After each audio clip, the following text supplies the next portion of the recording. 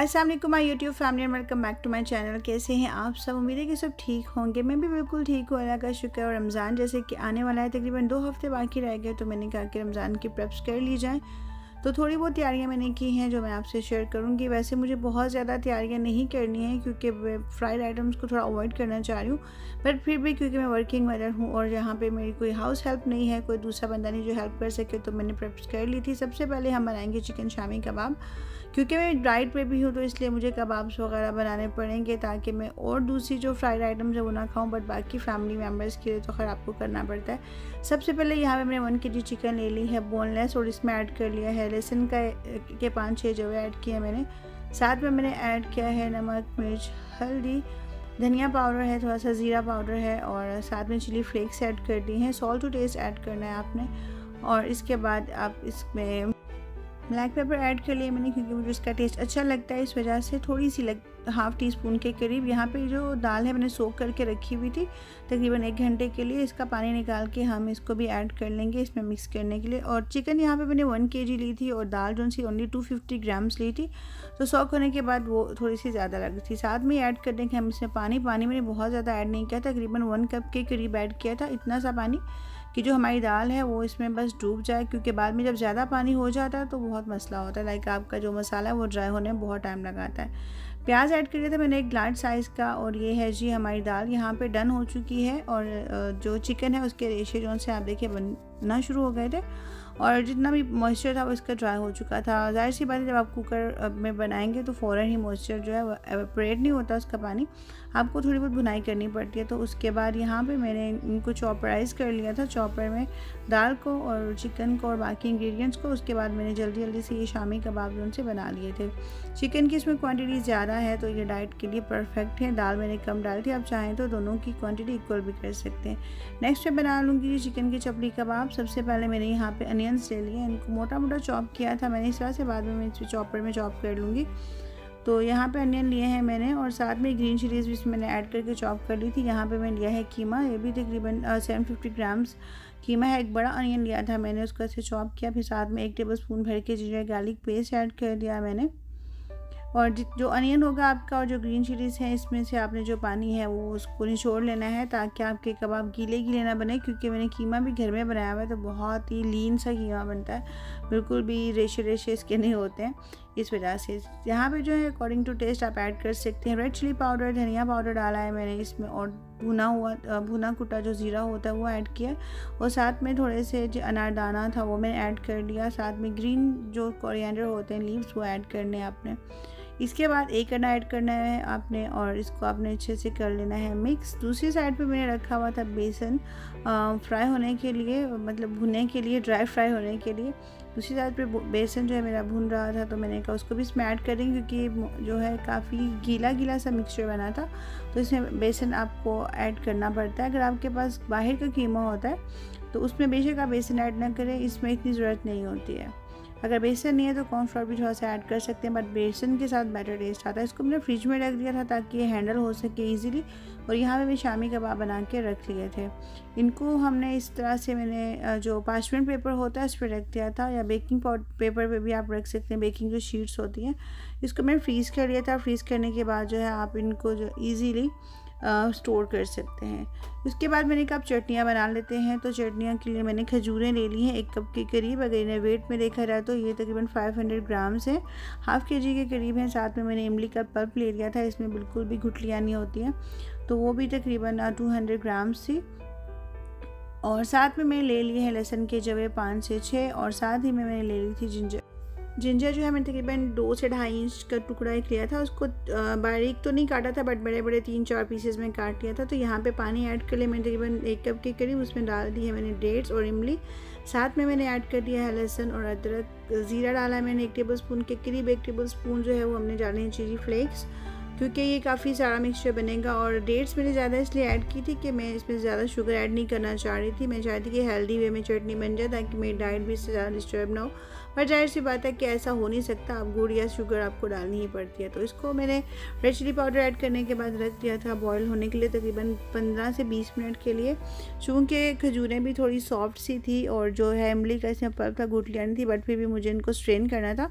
तो यहाँ पे मैंने काफ़ी थिक सा मिक्सचर था तो थोड़ा थोड़ा सा पानी ऐड करके इसको स्ट्रेन कर लिया था और जब स्ट्रेन हो गया था ये सारा तो फिर से मैंने इसको बॉईल कर लिया था पाँच छः मिनट के लिए ताकि अच्छे से बॉयल हो जाए तो ये फाइनल लुक हमारी चटनी का। ठंडा होने पे मैं इसे ऐड कर लूँगी जार्ज में फिर मैं आपको एंड में दिखाऊँगी। बहुत ही मज़ेदार सी चटनी बन गई थी।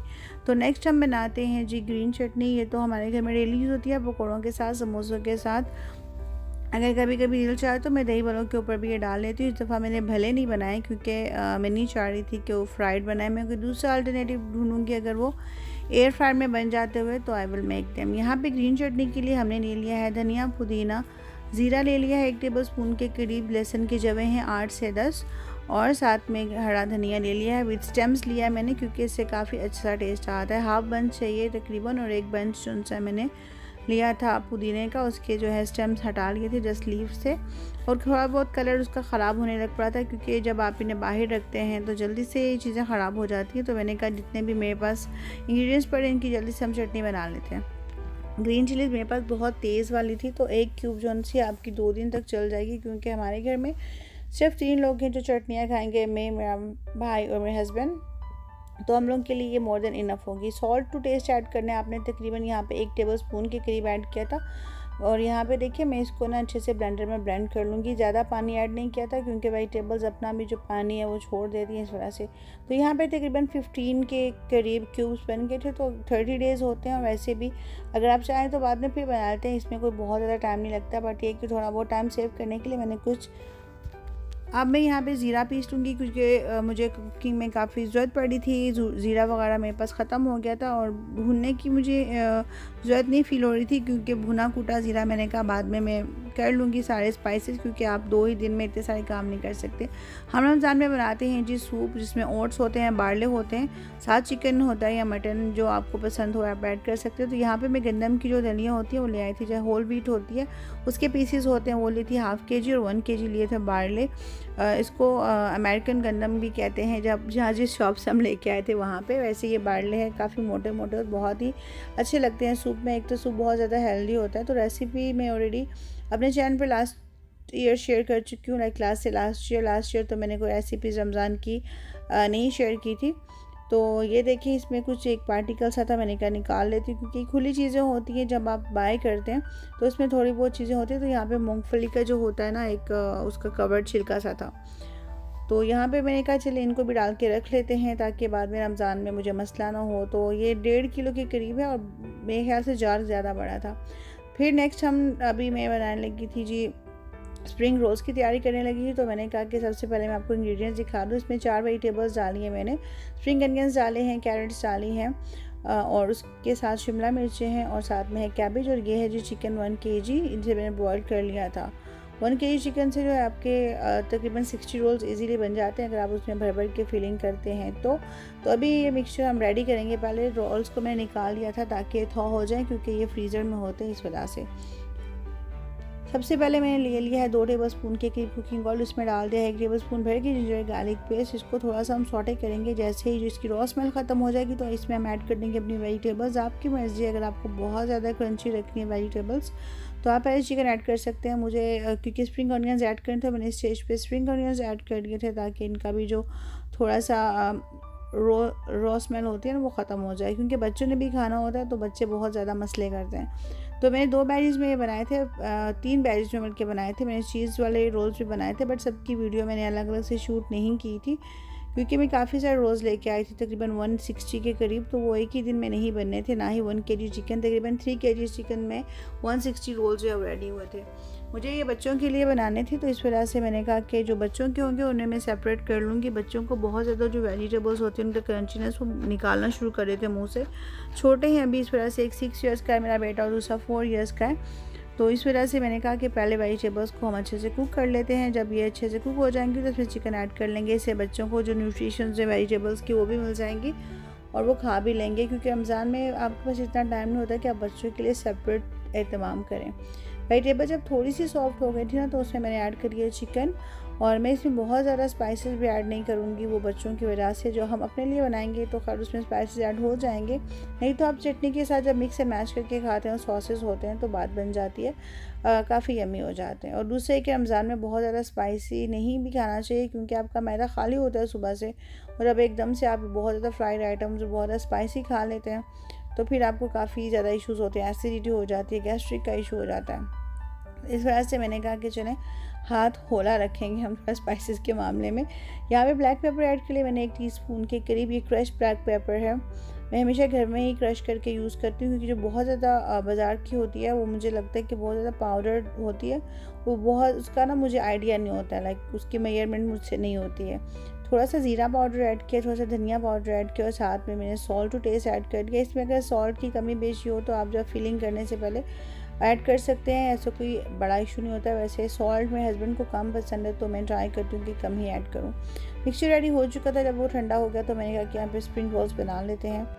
इसको आप दो तीन तरीके से फोल्ड कर सकते हैं। बस आपको करना ये होता है कि आपने ट्राई करनी होती है कि जो इसके कॉर्नर्स हैं ना, वो टोटली रैप अप हों ताकि कोई भी ऑयल अंदर इसके ना जा सके। क्योंकि जब ऑयल अंदर जाते हैं तो एक तो बहुत ज़्यादा अनहेल्दी हो जाते हैं। वैसे तो होते ही अनहेल्दी हैं, अगर आप इन्हें डीप फ्राई करते हैं। पर जब ऑयल अंदर जाता है तो पूरा का पूरा टेस्ट ख़राब हो जाता है और बहुत ही गंदा सा फील होता है। तो बस इस तरह से रैप कर लूँगी मैं और मुझे ये एज़ कंपेयर टू समोसा जिनकी जो रैपिंग है वो ईजी लगती है। समोसा को हैंडल करना थोड़ा मुश्किल होता है, जो पट्टी वाले समोसे होते हैं।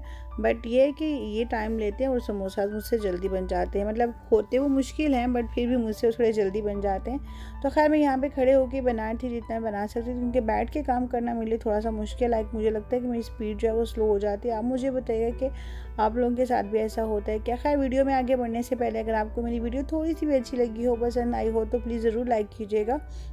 बहुत ज़्यादा मेहनत की है। मैंने ये छोटी सी मेरी बच्ची है, उसको भी साथ साथ देखना पड़ता तो दो से तीन दिन लग गए थे मुझे ये सारी वीडियोस बनाने में, उनकी एडिटिंग करने में।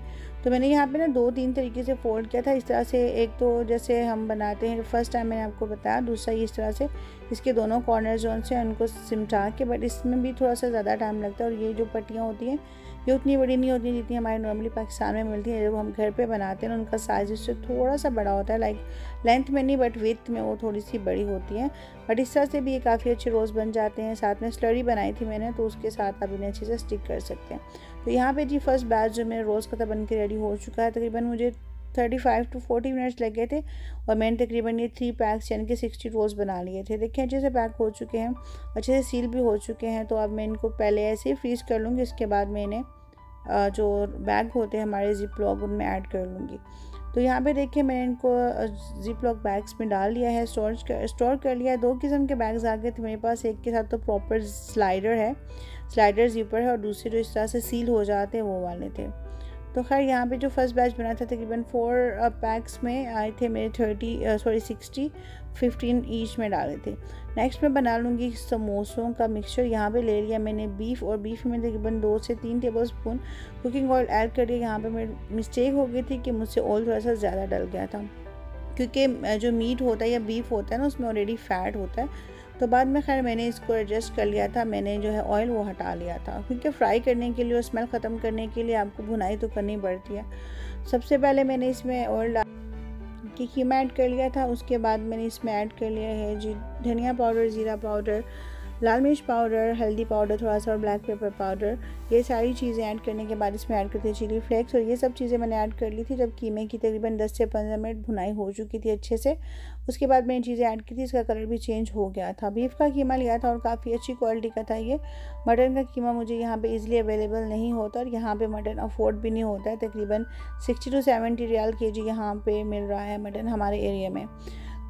मसाले जब अच्छे से मिक्स हो चुके तो यहाँ पे मैं वन टेबल स्पून भर के जिंजर गार्लिक पेस्ट ऐड कर दिया था और ये कीमा लिया था मैंने वन के जी और मैंने इसमें ज़्यादातर खड़े मसाले ऐड नहीं किए थे क्योंकि बच्चे नहीं खाते, वैसे भी समोसा वगैरह में जब आप इस तरह से खड़े मसाले ऐड करते हैं और खाते खाते मुँह में आ जाए तो बिल्कुल भी अच्छा फील नहीं होता है। यहाँ पे इसकी अच्छे से बुनाई करने के बाद जब इसमें बिल्कुल भी कोई किसी किस्म की स्मेल नहीं रही थी तो मैंने ऐड कर लिया था स्प्रिंग ऑनियन ये ऑप्शनल अगर आपके पास हो तो ऐड कर लें, अगर नहीं तो आप स्किप भी कर सकते हैं बट मुझे इसका टेस्ट काफ़ी अच्छा लगता है, इसलिए मैंने ऐड कर लिया था। स्प्रिंग ऑनियन ऐड करने के बाद इसे फिर हम थोड़ी देर के लिए, पंद्रह से बीस सेकेंड के लिए मिक्स कर लेंगे और अच्छे से जब मिक्स हो जाएगा ये इसकी भी खुशबू उसमें आ जाएगी तो हम ऐड कर देंगे ऑनियन ऑनियंस यहाँ पे मैं डालती हूँ क्योंकि इनका क्रंच जो होता है, समोसों में काफ़ी अच्छा लगता है। यहाँ पे दो बड़े साइज़ के ऑनियन मैंने चॉप कर लिए थे। ऑमलेट कट कर लिए थे, बल्कि मैंने चॉपर में चॉप नहीं किए थे क्योंकि उससे बहुत ज़्यादा छोटे हो जाते हैं इस वजह से। अच्छे से इसको भी मिक्स कर लेंगे। हम तकरीबन दो से तीन मिनट इसको हम कुक करेंगे। इसके बाद हम इसमें ऐड करेंगे धनिया। वीडियो की स्पीड मैंने बहुत ज़्यादा तेज़ की हुई थी ताकि बहुत लंबी वीडियो ना बने और आप लोग जो इनसे बोर ना हो जाए। अभी तक अगर आपको वीडियो अच्छी लगी हो तो प्लीज़ लाइक कीजिएगा सब्सक्राइब कीजिएगा, अपने फ्रेंड फैमिली के साथ ज़रूर शेयर कीजिएगा ताकि मुझे मेरी मेहनत वसूल हो जाए। नेक्स्ट मैं यहाँ पे बना लूँगी चिकन के समोसों का मिक्सचर तो सबसे पहले मैंने वन के जी बोनलेस चिकन ली है। उसको हम कर लेंगे चॉप मैं घर में ही कीमा अक्सर बना लेती हूँ क्योंकि यहाँ मुझे बाहर से मुझे समझ में नहीं आता। कभी कभी मिलता भी बहुत कम क्वांटिटी में और काफ़ी कॉस्टली पड़ जाता है। तो मैं बोनलेस चिकन लेके घर में ही कीमा बनाती हूँ चॉपर में इस तरह से। सबसे पहले हमने यहाँ पे थोड़ा सा कुकिंग ऑयल लिया, एक टेबल स्पून के करीब। और उसमें मैंने ये जिंजर गार्लिक पेस्ट ऐड कर लिया। इसको थोड़ी देर सॉटे करेंगे हम। जल्दी जल्दी में काम करना होता है तो कौन सा स्पून यूज़ कर हूँ मैं? मुझे इसकी कोई परवाह नहीं होती है। खैर, काम तो हो ही जाता है। तो इसके बाद हम इसमें ऐड कर लेंगे जो हमारा वन के चिकन का कीमा है इसे। इसे ऐड करने के बाद हम इसे पका लेंगे। फ़िलहाल ये ऐसा लग रहा है बट जैसे ये थोड़ा थोड़ा सा पक जाएगा फ्राई हो जाएगा ना तो बिल्कुल इसके कीमे की तरह ही लगेगा, जैसे कि कीमे का टेक्सचर होता है। तो यहाँ पे आप देख सकते हैं, जैसे ही थोड़ा सा इसका कलर चेंज हुआ था, तकरीबन तीन से चार मिनट लगते हैं। कलर चेंज हो जाता तो फिर इसमें हमने ऐड करी ब्लैक पेपर साथ में डाल लिया मैंने धनिया पाउडर थोड़ी सी हल्दी ऐड कर लिया मैंने और थोड़ी सी थोड़ा सा ब्लैक पेपर मैंने और ऐड कर लिया था क्योंकि मैं इसमें रेड चिलीज़ ज़्यादा ऐड नहीं करना चाह रही थी। थोड़ा सा सॉल्ट और टेस्ट ऐड किया, थोड़ा सा कुटा हुआ मैंने इसमें धनिया ऐड कर लिया था और साथ में ऐड करते हैं वन टेबल स्पून के करीब चिली फ्लेक्स ये भी क्योंकि बच्चों ने खाने बच्चों ने बीफ के समोसे नहीं खाने थे आई न्यू तो इसलिए मैंने बच्चों के लिए इसमें थोड़ी सी कम मिर्ची रखी थी। और इसमें बाद में थोड़ी सी ग्रीन चिलीज़ भी मैं ऐड कर दूँगी ताकि जो है बैलेंस हो जाए, क्योंकि मुझे लग रहा था कि मिर्ची बिल्कुल भी फील नहीं हो रही थी इस वजह से। यहाँ पे मैंने इसमें ना फ्रोज़न जो मटर होते हैं वो ऐड कर लिए थे। मेरे पास काफ़ी टाइम से पड़े हुए थे तो मैंने कहा कि इन्हें भी ऐड कर लेते हैं इससे पहले कि एक्सपायर हो जाए। साथ में फ्रिज को भी हमने खाली करना ही होता है। मटर मैंने इसमें इस स्टेज पे ऐड किए थे ताकि ये इसके साथ भून भी जाए उनका जो थोड़ा सा कच्चापन है वो ख़त्म हो जाए और ये गल भी जाए। फ्रोज़न मटरों को वैसे गलने के लिए चार से पाँच मिनट ही लगते हैं।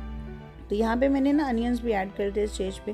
इसको फिर हम थोड़ी सी देर के लिए पकाएँगे। अगर आप चाहें तो अपनी मर्ज़ी के मुताबिक इसमें चीज़ ऐड कर सकते हैं चैडर चीज़ या मोरेला चीज़ तो खैर पुल के लिए होता है, बट टेस्ट के लिए आप चीज़ ऐड कर सकते हैं। मैंने चीज़ को स्किप कर दिया था क्योंकि मैं चीज़ के समोसे अलग से बनाऊँगी।